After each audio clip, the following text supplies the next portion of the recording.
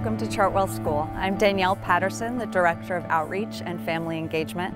We are so excited to be able to show you around our campus today and tell you about all of the different ways that we individualize programs for our students.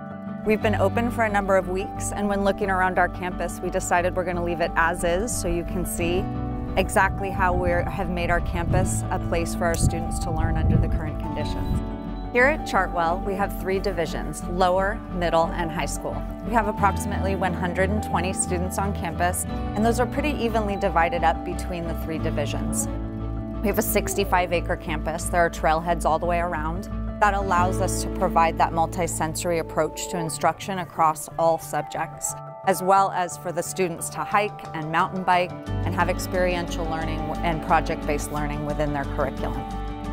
I'd now like for you to hear from members of our leadership team so you can learn more about each of the divisions.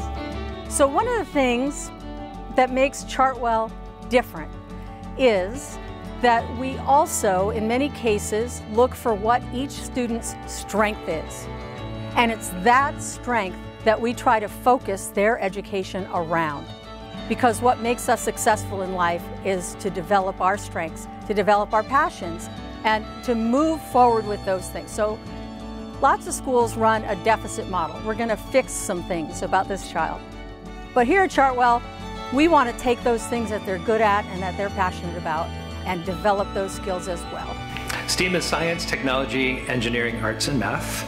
So it is a K through 12 program that incorporates all those disciplines. Uh, we include arts. Uh, a lot of schools have STEM programs.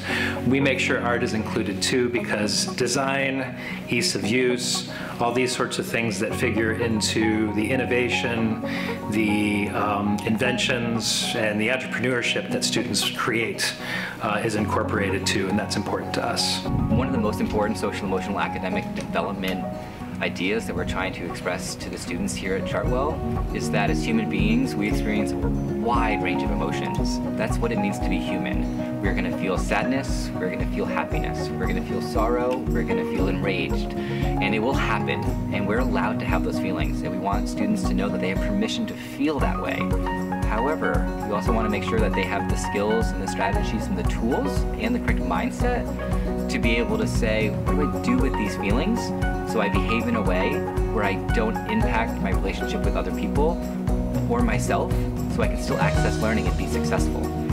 At Chartwell, what project-based learning means is that we select themes that shape the curriculum over the course of the year. So each year we have four themes over the four quarters and teachers take that theme and run with it in the different fields. So a theme might cross into literature and it might cross into science and it might cross into humanities and that helps the students because they are able to look at the topic from multiple perspectives. Our methodology is multisensory. We use all of the visual, auditory, kinesthetic, and tactile methods of teaching to engage students and to increase brain connectivity.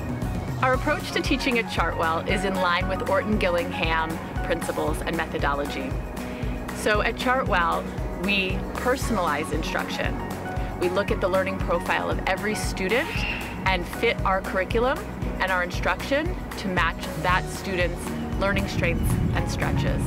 Thank you so much for joining our virtual tour. We look forward to meeting you in person. We will have in-person tours on Friday mornings at 10 a.m. Space will be limited, so be sure that you reach out. We would love to have you come to our campus so that we can share with you how we change students' lives and get them to stop struggling and start learning.